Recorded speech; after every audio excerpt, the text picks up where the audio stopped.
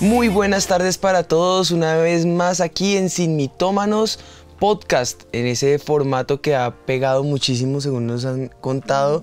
Por lo menos he podido hablar con muchas personas, cercanos, no tan cercanos, pastores, amigos, y, y el común denominador nos dicen es un formato muy fresco, muy bueno. Y para nosotros también, ¿no? Ha sido Claro. de bendición. Eh, nos ha gustado muchísimo el poder estar más cerca de ustedes, estar más cerca de nosotros y bueno, hablar de, de temas muy importantes y sobre todo, como siempre decimos, a la luz de la palabra de Dios, Y muy que será la, base siempre de Sin Mitómanos. Así que bueno, pues felices. muy buenos y muy actuales. Como decías, amor, este programa Sin Mitómanos busca desvirtuar a Satanás y plantar nuestra vida alrededor de esta fuente viva de agua fresca como lo es su palabra. Así que, pues, ¿qué les parece si comenzamos en oración? Padre, nosotros ponemos este tiempo delante de ti y clamamos que tu mano poderosa nos guíe a tu palabra, Señor. Ayúdanos, Señor, a romper cadenas de opresión. Ayúdanos a romper los mitos que Satanás pone en nuestra mente. Ayúdanos a desvirtuar, Señor, en este momento a Satanás y todas esas marañas que Él pone en nuestra mente y en nuestro corazón para que podamos hallar libertad y en esa libertad tu verdad prevalezca, Padre, en el nombre de Jesús. Gracias te damos por este tiempo. Amén y amén. Pues bueno, eh, esta vez con certeza hay una palabra de Dios para nuestras vidas y sé que eh, viene de parte del cielo para nosotros, ¿no? Sí, totalmente. Yo creo que es un tema que, que todos hemos vivido, que es muy importante que podamos eh, recordarlo. Yo creo que es recordarlo porque creo que a veces damos por hecho como, como muchas cosas, pero siempre es necesario recordar lo que Dios habla respecto a este tema. Así es. ¿Qué les parece si arrancamos con lo que será la columna vertebral de nuestro programa? Las preguntas. Las preguntas alrededor de la cual surgirá el mito, pero también surgirán temáticas que vamos a, estar tratando de, de identificar, pero sobre todo que en la palabra los podamos resolver. Eh, preguntas como, ¿qué es una crisis? ¿Qué hacemos cuando estamos en crisis? ¿Cómo nosotros pretendemos resolver nuestros problemas? Mm. Bueno, pues mientras escuchaba esas preguntas, siempre es como la, la idea de ver la expectativa versus la realidad, ¿no? Uno eh, espera reaccionar bien ante las crisis, espera eh, poder hacer las cosas de una manera diferente, pero cuando se enfrenta a la realidad, mm, creo que la expectativa era una y la realidad es otra. Siempre esperamos cómo afrontar las cosas de manera, las crisis, de manera positiva, teniendo fe, sabiendo que Dios está con nosotros y todo eso es como que está en nuestro razonamiento, pero ahora a la hora de la verdad, mm, en la realidad nos olvidamos de todo lo que creemos que es aparentemente lógico, de cómo enfrentar las crisis. Es verdad. Y ciertamente parte de la, de la vértebra que tiene el programa, eh, esa columna que sostiene el programa es la crisis, pero no, no es el único tema que se va a tocar. Y para eso me gustaría comenzar a ver un poco la raíz de la palabra crisis. Es una, un, eh, eh, eh, no sé, un estado de caos e incertidumbre que si tomamos ese estado y lo ubicamos en el latín, vamos a ver que eh, se va a encontrar eh, traducido precisamente como crisis. Pero el griego con K, crisis también, eh, ya con otro matiz, porque si el uno es incertidumbre y caos, este viene del verbo krinein, eh, el cual significa decidir o separar. Entonces el uno, caos o incertidumbre. Este caso, decisión, separación. Lo que busca es determinar una situación problemática. Y con esa situación problemática, tomar decisiones, separar, romper, caos, incertidumbre, ¿no? La crisis es algo que se rompe. ¿Y por qué se rompe? Bueno, eh, es precisamente ese- esa fragilidad que tiene la misma situación que lo está abordando. Y ahora, como se rompe, hay que analizarlo. De ahí el término crítica. La palabra crítica también su raíz tiene que ver con la crisis, que es esa situación de caos, de separación, de determinación. Ahora, si vamos a la Real Academia Española, vamos a encontrar directamente por crisis este significado. Dice, cambio profundo y de consecuencias importantes en un proceso o una situación, o en la manera en que estos, que los problemas y las situaciones, son apreciados. Si fuera fácil, ¿por qué tener que estudiar del latín, del griego, del español, de la Real Academia para poder llegar a un significado? Precisamente porque no es algo fácil de abordar, no es algo fácil de digerir. De hecho, se tiene que romper, desmenuzar, analizar y entonces sacar el significado de lo que, quiere decir la palabra crisis. Eso nos muestra a nosotros lo difícil que es lograr eh, abordar esa crisis, ¿no? Y bueno, con ese contexto de lo que son las crisis, de lo que estás hablando de, de lo compleja que se vuelve la situación en medio de las crisis y la vida de nosotros, pues es el, viene el mito del día que dice, las crisis son un peligro y solo nos agotan lo cual, pues con lo que acabas de decir, uno diría al comienzo que, que es... Los dejé agotados con esas definiciones. Que es cierto. Pero ¿qué tal si empezamos con un versículo en Isaías 48, eh, en el versículo 10 que dice, He aquí te he purificado, pero no como a plata, te he probado en el crisol de la aflicción. Por amor mío, por amor mío lo haré, porque, porque ¿cómo podría ser profanado mi nombre? Mi gloria pues no la daré a otro. Ahora, el crisol que habla acá Isaías es el recipiente donde se derrite el fuego, el oro, perdón, se derrite el oro. En el fuego. En el fuego, se pasa por el fuego y el oro se derrite. Y lo que hace el crisol es separar el oro de las impurezas o de la escoria que tiene. Y lo que hace el crisol es que al final queda solo el oro puro. Lo refina. totalmente. Y eso es lo que hace el crisol. Y el Señor está diciendo que Él nos prueba en el crisol de la aflicción. Quiere decir que para nosotros ese crisol, para que nosotros podamos ser un oro refinado, para que podamos ser ese oro puro, purificado. ese oro purificado, debemos ser, debemos pasar por esa aflicción. Las aflicciones son el crisol de nosotros. Las aflicciones hacen que como que seamos pasados por el fuego y al final claro, la victoria está el que al final quedemos siendo ese oro puro y ese oro eh, que el Señor quiere que nosotros seamos. Y por eso las aflicciones son necesarias. Lastimosamente no queremos pasar por ellas. Lastimosamente quisiéramos decirles que llegamos al Señor Jesús y no pasamos más aflicciones y todo es perfecto, pero no es así. Nosotros pasamos aflicciones. El mismo Jesús nos dijo, en el mundo tendrán aflicciones. Pero ¿cuál es la victoria? que podemos confiar que Jesús venció al mundo. Así que para empezar el programa es decirles, necesitamos las aflicciones. Necesitamos pasar por ese crisol de las aflicciones para que nuestra vida sea refinada. Dios hoy nos está llamando a entender que aunque duele un poco el proceso y, y así te, te va a causar eh, ese, esa aflicción, ese dolor en el corazón, él te va a pasar por ese horno. Pero no solo te va a abandonar en el horno, sino que Él está contigo en ese proceso.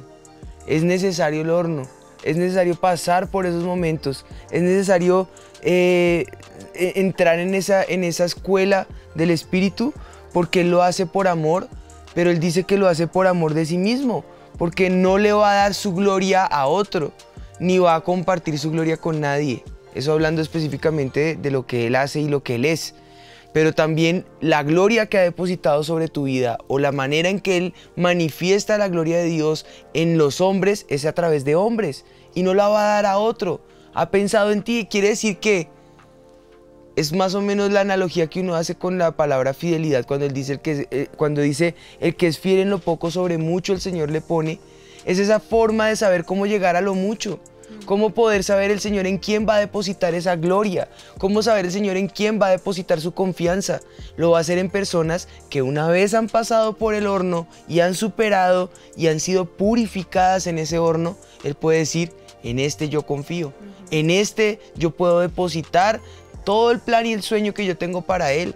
Es, es lo mismo que pasa precisamente con Job. Él estuvo tranquilo de dejar que Satanás hiciera lo que quisiera, porque no fue que Satanás hiciera lo que se, lo que se le antojara con Job y Dios dijera, haga lo que quiera.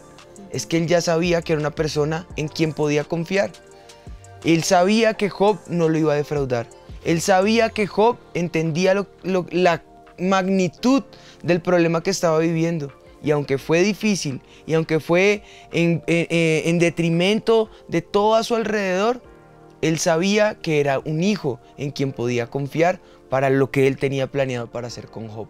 Así que en ese orden de ideas, Dios nos está hablando y en el momento de la crisis, en el momento de la prueba, tus ojos se van a, fijar en el Señor y lo van a ver y vas a amar a Dios en otras dimensiones que nunca antes lo habías podido eh, amar. Lo vas a poder evidenciar de maneras que nunca lo habías podido evidenciar. Lo vas a poder ver eh, obrando, es decir, en acción de maneras que jamás había obrado a tu alrededor. Dios va a ajustar las prioridades en tu corazón. Dios va a ajustar los motivos en tu corazón. Dios va a ajustar los razonamientos también, porque Dios también razona. Él le gusta que le amemos con el intelecto también.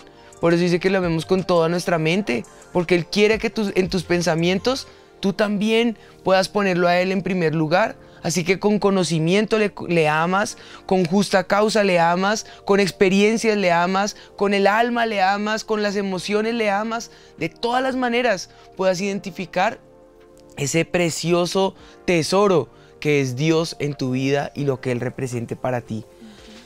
Dice también el apóstol Pablo, eh, bueno, que esto es la manera de llevarnos a crecer para poderle dar a Él ese lugar que le corresponde. Pero Él lo dice porque había atravesado una crisis. Y esa crisis, o el nombre que le pone a esa crisis, es el aguijón. Ese aguijón en la carne, dice la Biblia, que él clamó a Dios muchas veces para que se lo quitara. Y en la segunda carta de Corintios, al final en el capítulo 12, el versículo 9 dice, y me ha dicho, bástate mi gracia, porque mi poder se perfecciona en la debilidad. Por tanto, de buena gana me gloriaré más bien en mis debilidades, para que repose sobre mí el poder de Cristo. Pero el Señor le dijo, mi gracia es todo lo que te basta. La manera de Dios actuar no te debe importar tanto como que la gracia pueda ser manifestada en tu vida. Y esa se va a manifestar de múltiples formas. Puede ser con el poder soberano de Dios que te libra de entrar a la crisis, pero también puede ser que su soberanía sea atravesando por la crisis, como también puede ser soportando un aguijón en la carne, como lo que le tocó a Pablo. Pero que de cualquier manera puedas ver que cuando eres débil es donde Dios se hace fuerte. No por las debilidades de la carne, porque al pecado hay que renunciar, no estoy hablándote de pecado, porque el pecado es muerte y es enemistad con Dios. Amar al mundo es enemistad con Dios, te constituye enemigo de Dios. Al pecado y a la tentación hay que huir, dice el Señor. Eh, pero a la debilidad, que es esos momentos de, de, aflicciones, esos momentos de angustias, esos momentos de, de, de, agobio, de desespero extremo, de no saber qué hacer, de luchar y luchar y no lograr alcanzar, de combatir en tu manera hasta darte cuenta que hay maneras como Dios obra diferente a como tú quieres que lo. Eso es debilidad. Es luchar y luchar y no lograr victoria en esa lucha. ¿Cómo lograr esa victoria? Ya estoy cansado, ya las fuerzas no me dan, pareciera que las armas no son buenas. Pareciera que el hierro ya estuviera eh, dañado, como que no tuviera filo. Eso trae debilidad, agota, de, eh, eh, desaliento, desánimo. Y es en esos momentos donde el Señor dice, bástate mi gracia. Ahí mi poder se perfecciona en esa debilidad. Y ahí cuando tú eres débil, cuando tú dices, no lo puedo hacer, me es imposible, como que me quedó grande. El Dios de los imposibles es donde viene a reposar sobre tu vida, a tomar tu aflicción, a tomar tu debilidad y ahí es donde Él se hace fuerte en la debilidad. Cuando soy débil, el poder de Dios se perfecciona en mí, dice Pablo en otra versión de la misma cita que acabamos de leer. Es en la crisis que sale tu verdadero corazón a flor de piel. Y es en la crisis donde tus ojos son abiertos a unas nuevas conquistas, a unas nuevas situaciones, a unos nuevos retos que nunca habías tenido en tus vidas. eh, eh, o, en, sus vidas nunca, nunca se había presentado. Y es en las crisis donde puedes ver lo que antes no veías. Fue lo que le pasó a Job. De oídas te había oído, pero ahora mis ojos te ven. Tú has oído de Dios, pero no sabes lo que es causar que los ojos de Dios se han visto a través de esa crisis, del superar ese momento de dificultad. Ahora todo es con mayor claridad. Puedes ver a un Dios soberano, a un Dios en acción, a un Dios sanador, a un Dios liberador, a un Dios que te otorga absolutamente todo. Y aún superada la crisis, te vas a dar cuenta que si miras hacia atrás, en esos días difíciles, no estuviste solo. No los hubieras superado si Él no se hubiera parado ahí junto a ti. Y yo creo que es, es centrarnos en una realidad, ¿no? Y es que siempre vamos a vivir crisis, porque queremos como em, Evitarlas. evitarlas y creer que no las vamos a tener y al máximo. Yo no puedo decir que a mí me gustan las crisis, para nada. Nadie, nadie quiere vivir una crisis. Siempre queremos vivir en... en y el que en- lo diga es porque la acabó de superar. Bueno, eso es cierto. Pero, pero sí debemos saber que vamos a estar siempre en constantes crisis y tenemos que enfrentar diferentes problemas. Pero aquí la pregunta sería, ¿por qué vienen las crisis? ¿No? En medio de todo lo que vimos, ¿para qué o por qué vienen las crisis? Y yo creo que algo que hemos aprendido nosotros a lo largo de este tiempo y de las diferentes crisis que hemos vivido es que lo más importante de atravesar una crisis es poder eh, enfrentarla, como tú decías ahorita, reconociendo mi Dios, cuál es el Dios que yo tengo, sabiendo que si yo entro en esas crisis, voy a acercarme cada día más al Señor, voy a, no sé por qué cuando uno está bien cree que puede alejarse un poquito del Señor y, y como que va a seguir bien, pero la crisis te lleva de una vez a las rodillas. Es a como el orar, mismo efecto, es el mismo efecto que pasa cuando están en una dieta. Ya tengo cercano el peso que sí. alcancé, entonces puedo comer alguito más, puedo comer papitas, puedo comer salsitas y vez. otra vez y se engorda. Entonces lo mismo pasa, creo que ya Dios solucionó el problema, entonces puedo hacer esto, puedo, puedo, puedo, puedo, porque Y siento uno que está bien. y que- pero viene la crisis y Tome para que llegue Exacto. y 60 ahí es kilos cuando- encima. Cuando corremos otra vez a los brazos del Señor, podemos entender que solo en Él podemos encontrar esa respuesta, solo en Él podemos encontrar nuestra paz, solo en Él podemos confiar, porque lastimosamente en nadie más podemos confiar. Nosotros sabemos que nuestra confianza debe estar puesta en el Señor. Y a veces e- esa crisis es ese empujón, muchas veces acercarnos a Dios, es ese empujón a la bendición, es ese empujón que el Señor utiliza para sacarte del lugar en donde estás, porque nos acomodamos a veces y nos ponemos cómodos ahí, como un, como un, eh, como, ah, sí. como un eh, ejemplo que del, del pajarito que estaba gordo, gordo, gordo y no quería salir de su arbolito porque estaba feliz en él y no se quería mover hasta que por una tormenta cae el árbol y le tocaba o caerse con el árbol o volar. Y muchas veces decimos, pero Señor, si estoy cómodo acá, porque una tormenta, porque una crisis, porque me vas a tumbar mi árbol si estoy cómodo? Y el Señor le dice, tú eres un pajarito, no un marrano, a, a volar. volar, a volar o a caerte con el árbol. Y no, yo creo que el Señor si las envía es porque quiere otra vez que despeguemos y volemos. Sí, muchas veces también pasa que hemos orado por, por liberación en un área y por aflicción en el corazón de persona que está ahí al lado tuyo haciéndote esto, esto, esto, esto y aquello. Y llega el momento de la forma menos esperada a través de una misma crisis, en donde sí o sí lo que por años clamaste por liberación, pues Dios mismo te lo está poniendo de frente. Y tú lo ves como una crisis y lo que no sabes del otro lado es que es la liberación para ti. Eso muchas veces va a pasar. Y yo creo que la- la- las crisis se, re- se manifiestan de muchas maneras, económicas, en salud, en decisiones, en oportunidades, en familiaridad, en todo esto. Y podemos tener dos opciones, dos, dos visiones de la misma situación, que es crítica y de cualquier manera no va a dejar de ser crítico. La palabra es crítico. Yo puedo ver el vaso o medio lleno o lo puedo ver medio vacío. Al fin y al cabo está la mitad. Y ese punto en la mitad es precisamente la crisis. ¿Cómo la puedo de- denominar? Oportunidad, dolor, fracaso, liberación, esclavitud, frustración, sanidad, como tú le quieras llamar, lo puedes ver desde la perspectiva optimista o desde la perspectiva negativa. Y, yo creo que el cambio de lo que estás diciendo, de, de poder ver el, el vaso medio lleno y no medio vacío, está en enfrentarlo en el Señor. O sea, correr al Señor y en Él es tener esa seguridad y saber que Él es el que tiene esa respuesta para nuestra vida. Y yo creo que es la única manera de enfrentar las crisis viendo el vaso medio lleno. no Depositar la confianza en el Señor. Pablo lo dijo. Solamente en Él pudo encontrar que en su debilidad Él se hacía fuerte. ¿Por qué? Porque pues permitía que el Señor se hiciera fuerte mientras iba a las rodillas. Lo mismo le pasó al Señor Jesús en el momento más crítico de Él, en Getsemaní, cuando no tenía respuestas, cuando los que podían interceder por Él hasta dormidos estaban, cuando todos los que estaban a su alrededor era como si no se dieran cuenta de la situación que estaba viviendo. No tuvo más que poder ir delante de la presencia del Señor y aún con tal angustia, con sudor de gotas de sangre que venían de su frente, ponerlo delante de la presencia del Señor y decirle, Señor, si puedes, yo no quiero esta crisis. Si puedes, pasa esta copa. Pero de cualquier manera, que no se haga mi voluntad, sino la tuya. Y yo creo que ahí está el secreto para superar la crisis.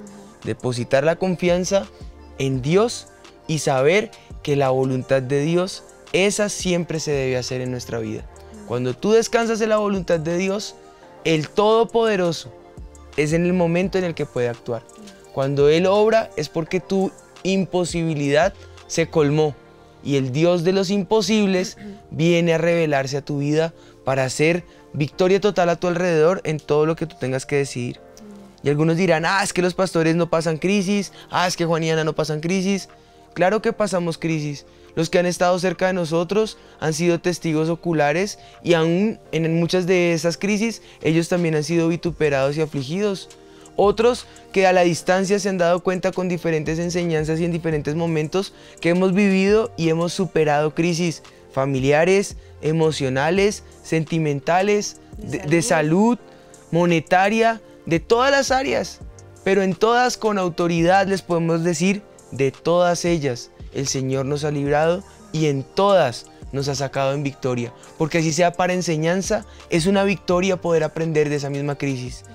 Todo esto queremos que sepan que, es, eh, que no es que se imaginen que todo lo que a diario enfrentamos, eh, por más importante que represente, eh, no es, no es, eh, no, no, no, no, quiere decir que no es una crisis. Claro que sí. Todos los días somos, somos expuestos a diferentes situaciones, somos expuestos a diferentes panoramas y algunos de ellos críticos, otros muy críticos, pero sea como sea, la pregunta es la misma. ¿Cómo respondemos a esa crisis? ¿Cómo debemos enfrentarla? Y esa es la diferencia del panorama. No es que no vaya a dejar de ser crítico, claro que va a ser crítico, pero mi actitud frente a esa crisis es lo que puede cambiar. Como yo lo veo en Pablo. Pablo dice que se alegró, dice que nos gloriemos, que nos gocemos, que saltemos. Yo no me imagino saltando por una crisis, yo no me imagino riéndome de una crisis. Pero bueno, puedo ver otras actitudes como las que tuvo Jesús. Tal vez la del gozo te- se te dificulte. Si lo logras, enséñame, porque no es fácil. Pero si lo logras, vas a encontrar la virtud del regocijo. Porque una cosa es tener gozo y otra cosa, otra cosa es regocijarse, que es algo del interior, que es algo que es una, una alegría, como cuando viene el bautismo del Espíritu con ese don de, de gozo, que viene de muchas maneras, pero empiezas a reírte y no sabes qué es lo que pasa, pues bueno, esa alegría tan, tan cautivadora que tiene, que pueda invadirte, puede ser sanidad en medio de esa crisis. Porque el, el gozo no es porque te, te dio risa un chiste. No. El gozo es que el Espíritu Santo, en medio de la crisis, te da el gozo que es la fortaleza. El gozo del Señor es mi fortaleza. el gozo del Señor es mi fortaleza. Es que cómo me puedo gozar en la crisis y muchas veces nos han dicho, ay, para ustedes es fácil decirlo. No, tampoco es fácil y también es difícil Por eso les digo que si lo logran, no, no le enseñen. Exacto. Porque su testimonio también nos causa a nosotros entender esa fortaleza. Exacto, pero es que el gozo no es algo que yo voy a decir, hoy me amanecí alegre y soy positiva y voy a hacer ejercicio y entonces para gozarme, no. El gozo es que el Señor en medio de tu crisis y de tu prueba te da gozo, porque el gozo te va a fortalecer. Por eso digo que es una virtud, porque es como un don, un regalo que Dios te dé la oportunidad de ver la victoria antes de que llegue. es una especie de fortaleza en fe, en donde tú estás viendo esa victoria del mañana antes de que sea mañana. Estás viendo vislumbrar el sol, como cuando la nube pequeña eh, en, en la mano del profeta, cuando dice se acerca la nube, ve y anuncia que viene un- una lluvia torrencial, pero apenas era una nube, él ya sabía lo que iba a pasar. Él ya estaba saludando lo que venía adelante. De esa misma manera, si nosotros lo podemos mirar de esa, de esa forma, qué bendición. Pero no es la única otra forma de verlo, como Jesús lo hizo, con rendición, con gratitud, eh, alejándonos eh, de, ese, de ese panorama caótico en el momento. Si yo a la crisis de Rusia y Ucrania me pongo a ver noticias, voy a terminar llorando. Pero si por un momento, no que las obvie, pero me alejo y dejo que la noticia sea primera la del cielo, tengo fortaleza para afrontar las que ya puedo leer más adelante. Pero si lo primero que hago en la mañana es abrir el periódico, pues mi fortaleza va a ser lo que viene el periódico. Eso, eso es más o menos un ejemplo de lo que el Señor nos está enseñando a alejarnos un poco de esa situación y, y culpando a todo el mundo menos al que se debe culpar, que es al que dio esa crisis, al dador de esa crisis, a Satanás, que es el, él es el, el acusador de los hermanos, es el que causa divisiones, es el que se, se levanta para matar, para robar y para destruir. Él es el que tiene ese, ese propósito en su camino. Pues ¿por qué no hacer frente en realidad a esto y poderle decir, Señor, con un corazón de regocijo, con un corazón que se fortalece en esa debilidad, con un corazón de rendición y de gratitud, voy a afrontar esta crisis. No para acomodarme en la crisis, sino para poder ver lo que voy a hacer para superar esta crisis. Y estar dispuesto si vienen más. Sí. Será como David, mató un oso y no fue la única, mató un león y no fue la única, tuvo que enfrentar a un gigante, pero seguro no hubiera podido superar enfrentar a ese gigante si antes la experiencia del león y el oso hubieran venido a su vida. Sí, yo creo que aquí la, eh, eh, la pregunta con lo que estás diciendo es, ¿a- en medio de la crisis, respóndete esto, en medio de la crisis, ¿a quién corres primero? Analiza de pronto la crisis que estás viviendo en este momento o mira las crisis que has vivido antes y tú mismo respóndete, ¿a quién has corrido? ¿No? Uno siempre corre a mi esposo, a, a mi familiar, eh, puedes correr a tus papás, puedes correr a tus hermanos, puedes correr al jefe, Al amigote. al amigo, quieres solucionar las cosas, eh, tal vez hasta, hasta el banco, sí, todas las cosas naturales. Algunos han llegado a extremos como al gota a gota. Sí, Otros llegan a extremos de ir al brujo, al hechicero. Este fin de semana o recientemente en estos fines de semana estuvimos viendo liberaciones poderosísimas precisamente por acudir en momentos de angustia. Como dijo la mujer del flujo de sangre, todo lo he consultado. Vayan a saber qué fue todo lo que consultó. y yo creo que esa es una de las claves de, la, de las crisis, es poder decir a quién voy a correr y que tu respuesta sea al Señor. Que siempre sea la primera, lo primero que tú piensas, estoy viendo esta crisis, voy a correr, que dice la palabra de Dios, que la palabra de Dios me muestre qué es lo que debo hacer, escuchar la voz del Señor, a veces callar, porque queremos es hablar y hablar y hablar y no escuchar lo que Dios tiene para nosotros. Y sé que en medio de todas esas crisis que puedas estar viviendo, cualquiera que sea la crisis, porque yo sé que a veces queremos catalogarlas, ay, es que la tuya no es tan terrible que la mía, pero pues para él puede ser terrible y para mí la mía puede ser terrible, cada uno vive, vive diferente crisis.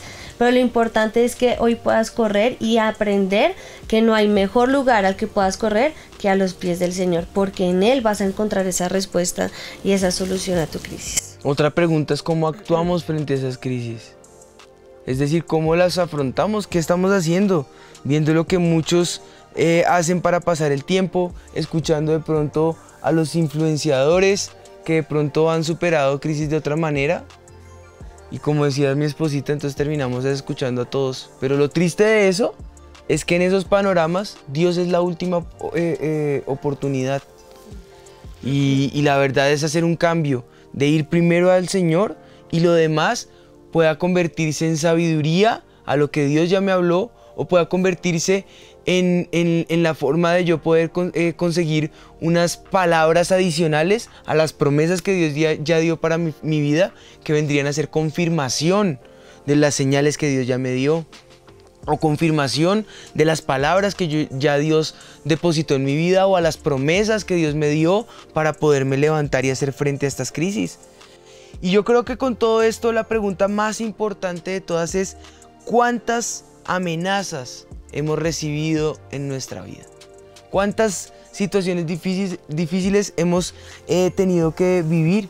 Y hay una historia demasiado importante que está allí eh, en la Biblia. Y digo en la Biblia no por decir que se me olvidó cuál es el lugar, que ya se los voy a decir, sino porque frecuentemente la misma historia es repetida en la Biblia.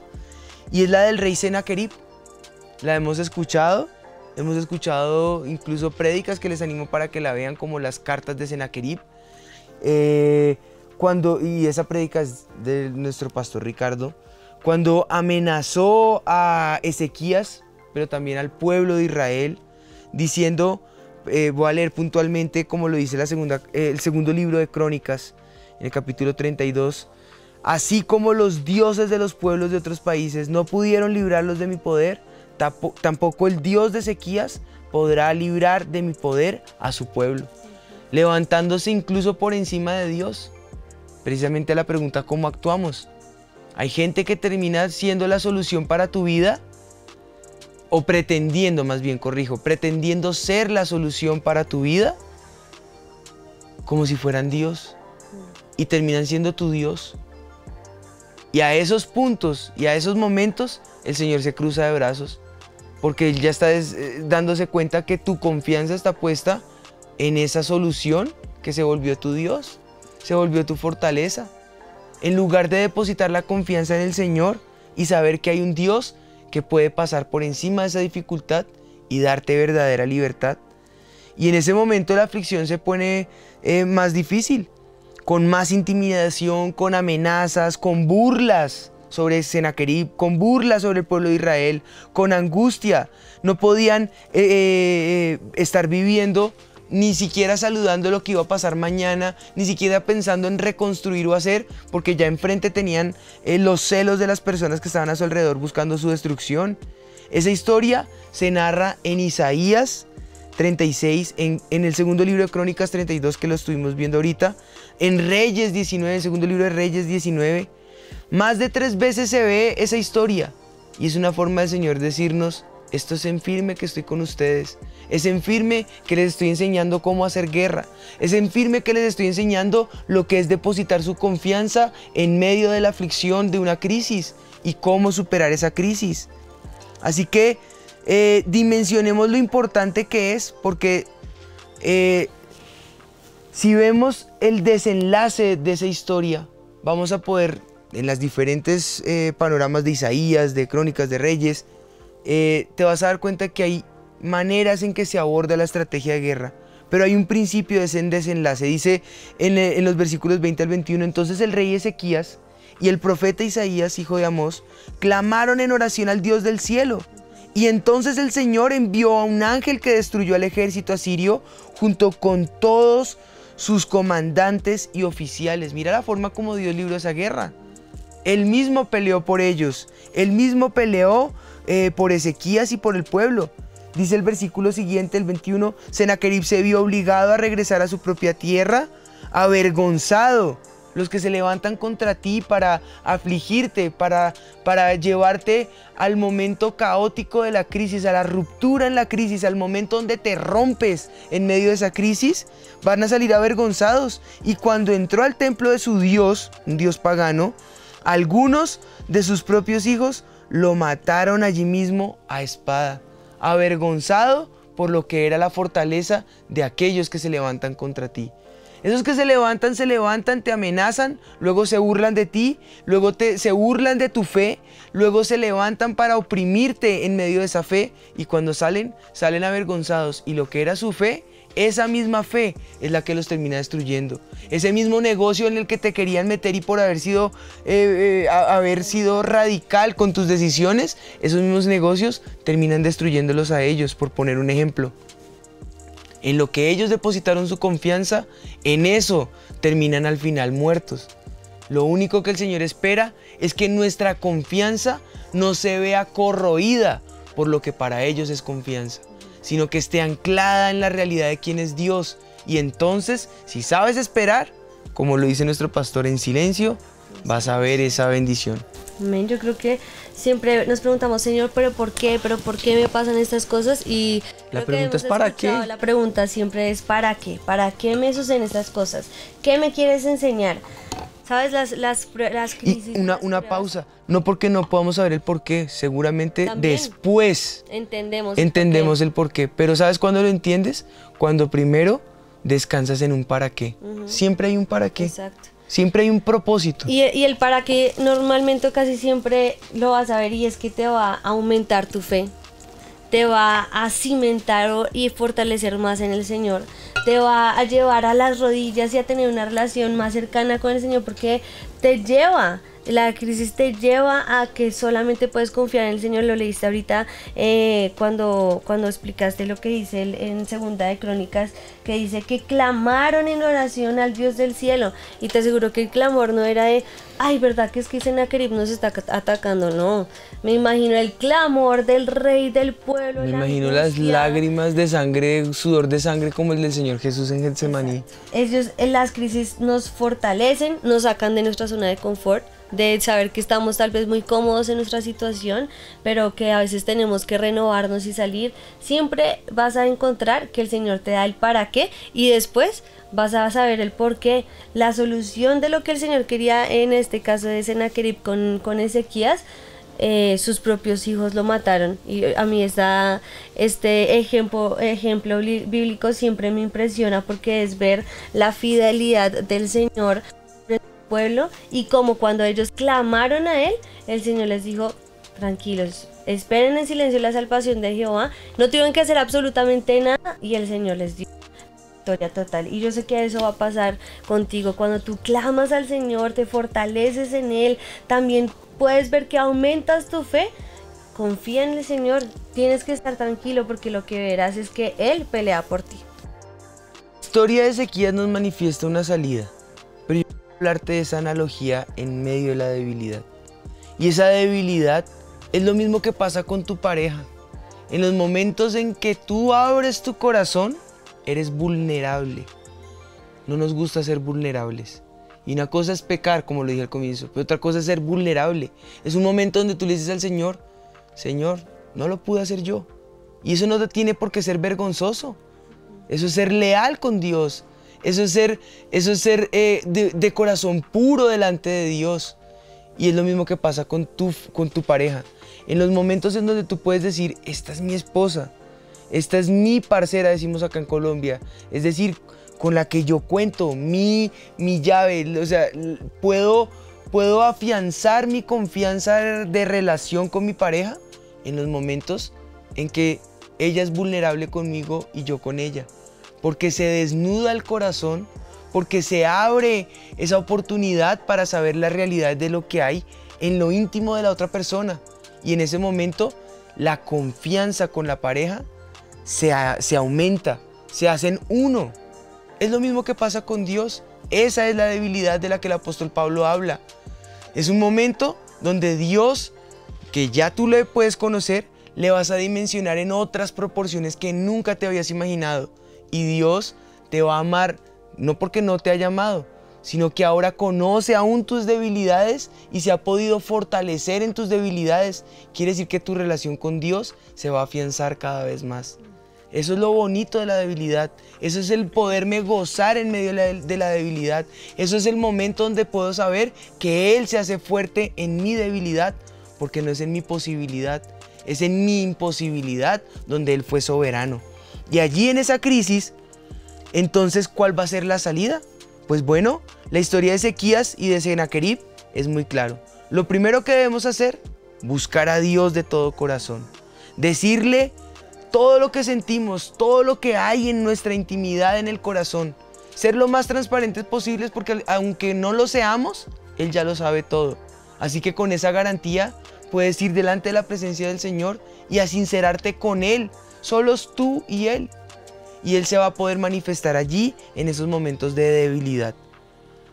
Lo segundo es correr al templo, como lo hizo eh, Ezequías. Él no dijo nada, no dirigió palabra al pueblo, no le importó las amenazas que este hombre había dicho porque no se las dijo en privado, sino en público a todos, no le importó todo, salió corriendo a la casa del Señor. Y delante de la presencia del Señor tiró estas cartas delante de la presencia, como diciendo aquí la solución no es mía. ¿Qué tienes tú para hacer acá en medio de esto, donde se me sale de las manos toda esta situación? Buscar ese consejo de los ungidos ir a la casa del Señor y pedir esa palabra directa de parte de tus pastores, sea a través de la prédica, sea a través de lo que el Señor te hable en la presencia del Señor, sea tal, vez a través del consejo que viene a través de los pastores, pero es buscar esas armas de guerra que el Señor nos da. Y, esas armas de guerra vendrían a ser lo tercero. Hay muchas maneras de enfrentar esas armas de guerra. Ayuno, oración, eh, hay, maneras de, abordar la misma oración. Hay tiempos de intercesión y clamor. Hay tiempos de oración en adoración. Hay tiempos de gemidos indecibles. Hay tiempos de guerra espiritual. Pero la oración misma te va a ayudar a encontrar el fin de esa aflicción y de esa crisis que estás viviendo. También hay otras maneras que seguramente sea de liberación, apelando a la sangre de Cristo, que nos trae libertad y nos trae sanidad. Hay momentos de unción donde la unción siempre va a tener un propósito para librarte de esa aflicción, para sanarte, para llevarte a avanzar en medio del terreno donde estás. Si sobre todo sabes que estás en un trabajo en el que tal vez tienes que enfrentarte con las tinieblas, pues necesitas la unción de la luz de Cristo para que pudra el yugo del opresor en medio donde estás y esa crisis deje de ser crisis y se vuelva victoria o muchas maneras más en donde ese tercer punto va a ser eh, aún el mismo nombre de Jesús, el poder que hay en el nombre de Jesús, el mismo poder que está en la oración. El Señor Jesús dijo, pídalo en mi nombre y será hecho. El nombre de Jesús causa que tu petición se cumpla cuando tú apelas al nombre del Señor Jesús. Y una cantidad de, de maneras en que tú puedes enfrentarlo, que tú sabes esta es la manera en que adecuadamente puedo poner mi confianza en el Señor. A través de la palabra. A través de su palabra. Declarando su palabra. A través de las maneras como Dios habla. Sueños, visiones, palabras proféticas, eh, palabras de sabiduría, palabras de conocimiento, la prédica del, pastor, la ilustración de los pastores, noches con Jesús, los testimonios, sanidades. Hay infinidad de maneras. La misma naturaleza en muchos momentos se vuelve respuesta a señal o a confirmación de momentos que yo estoy viviendo. Pero lo cierto de todo esto es que Dios sea lo primero a lo que tú acudas y no el último en tu crisis, porque de esa manera nuestro corazón podrá estar anclado en la verdad del Señor y no en las mentiras que Satanás quiere decir de nosotros. Yo creo que podemos orar con respecto a lo que les estamos hablando, porque eh, las armas se las hemos dado, los, los eh, consejos se los hemos dado y yo creo que es el momento de decirle, Señor, en medio de mis crisis, en medio de mis dificultades y problemas, quiero ser pasado por el fuego, pero saber que eh, en ese crisol que es la aflicción, vas a sacar de mí lo mejor. Y voy pues, a ser purificado. Hagámoslo en esta hora. Padre, nosotros presentamos este tiempo delante de ti, Señor. Y yo clamo, Espíritu Dios, que seas tú ayudándonos a entender el verdadero propósito detrás de las crisis, Señor. Que dejemos de ver las aflicciones como verdades en nuestras vidas, Señor, y entendamos que son una realidad como lo es amanecer, como lo es la necesidad de comer, como lo es la necesidad a veces de tener que ir al baño o la necesidad de lavarnos los dientes. Son momentos que son necesarios en nuestra vida, son momentos que son circunstanciales en nuestra vida, pero que detrás de todos ellos, Señor, tu poder se puede perfeccionar, tu poder se puede hacer más fuerte en medio de esa circunstancia. Ayúdanos a depositar nuestra confianza en ti, Señor, y saber que en ti tenemos siempre victoria total, no porque sea la victoria lo que nos busque, nos, eh, nos, nos lleve a la rodilla, Señor, sino por el hecho de saber que en ti siempre hay victoria, que tú ya venciste, que tú ya tenías ese, ese, ese pedazo de mi historia escrita, Señor y ya sabías cuál iba a ser el resultado, pero es el momento donde yo puedo conocerte más, es el momento donde yo puedo identificarme contigo, es el momento donde mi fe se puede anclar en ti, es el momento donde puedo madurar en fe en ti, Señor, es el momento donde mi carácter se puede perfeccionar en medio de esa debilidad, Es el momento donde puedo ser, llegar a ser perfecto como tú lo eres, Señor, o encaminarme a la perfección a la que tú me llamas a, a encaminarme, Señor.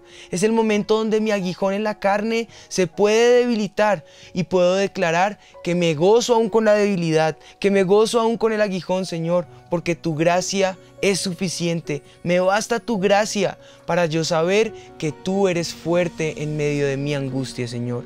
En medio de nuestras angustias, manifiéstate real en, nosotros, Señor. Muéstranos que tú caminas con nosotros, que nuestros problemas sean pasajeros, que nuestras dificultades sean momentáneas, Señor, y que podamos encontrar esa liberación que tú tienes después de esta crisis, que podamos superar esta crisis en el nombre de Jesús, te lo pedimos, Señor. Padre, clamamos por cada persona que nos está viendo en este momento, Señor, que está atravesando esa aflicción, esa crisis, y tal vez no, no entiende el por qué y el para qué y no ve esa respuesta, Señor. Pero pedimos que tú, Señor, seas real en este momento en sus vidas. Que ellos puedan saber que tú estás, Señor, en medio de cada dificultad. Cuando entramos a ese horno de la prueba sabemos que tú estás allí también con nosotros y que en ti vamos a encontrar esa respuesta, Señor. Así que enséñanos a correr a ti, a correr a tus brazos que de amor que están listos y dispuestos para recibirnos y saber que en ti está nuestro descanso y nuestra paz, Señor. Que tú has vencido y porque tú lo hiciste, nosotros también podemos hacerlo, Señor. Que tú nos ayudarás a pasar al otro lado en medio de estas crisis, Señor. Y que ellas nos ayuden a aumentar nuestra fe, a fortalecernos en ti, a poder ver a ese Dios grande y real que tenemos, Señor. Y saber, Espíritu de Dios, que las aflicciones y las pruebas, Señor, son momentáneas, pero la gloria que tú traes sobre nosotros en medio de ellas, esa es eterna. Gracias, Señor. Te damos por lo que tú harás en este día y en esta hora con cada uno de nosotros. Yo clamo, Padre, que en este momento obres tú en el corazón de cada uno de los que están conectados, Señor. Y yo te pido, Espíritu de Dios, que ese corazón sea afianzado en ti, Señor. No sé la dificultad que están viviendo, pero en mi corazón sé que es un momento de mucha debilidad, donde pareciera uno querer tirar la toalla, Señor. Yo clamo que en este momento el soplo de tu Espíritu se manifieste en el corazón de cada uno de ellos. Y en este momento tu gloria sea mostrando la realidad de lo que tú eres, Señor. Manifiesta tu fortaleza, Señor. Manifiéstate como Dios sanador. Manifiéstate como el proveedor. Manifiéstate como aquel que trae liberación de verdad, Señor, en medio de nuestras crisis, Señor. Responde a la necesidad que hay en, delante de tu altar, Señor. Responde en este momento al corazón que está en congoja, que está en este momento eh, en, en, en aflicción, Señor. Esa congoja del corazón salga ahora en el nombre de Jesús.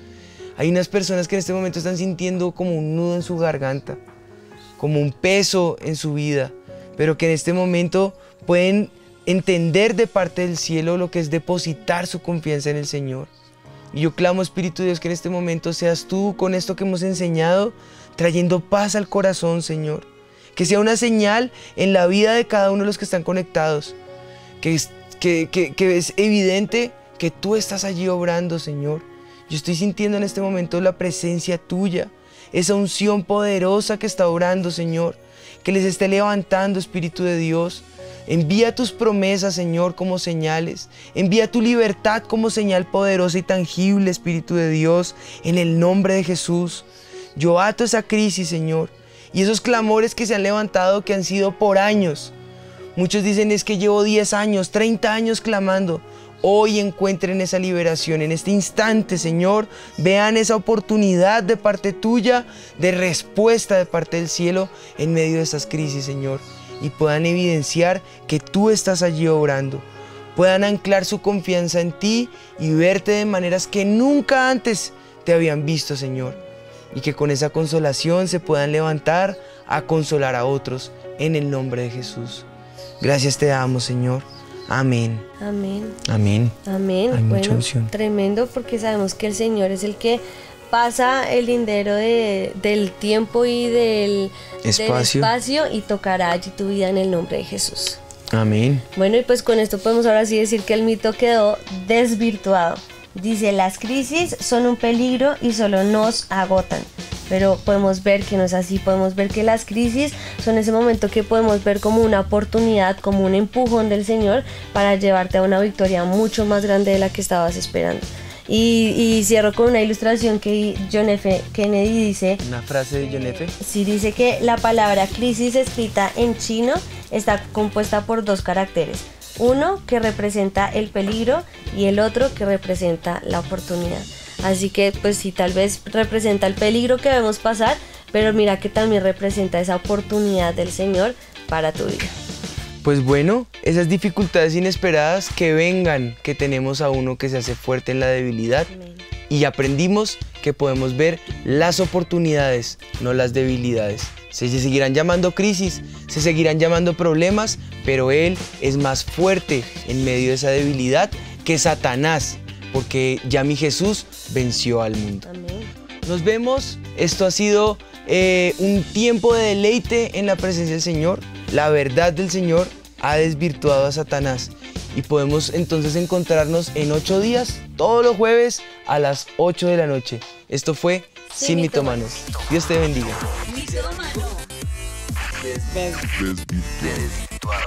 Bye Juan y Sin Esto fue Sin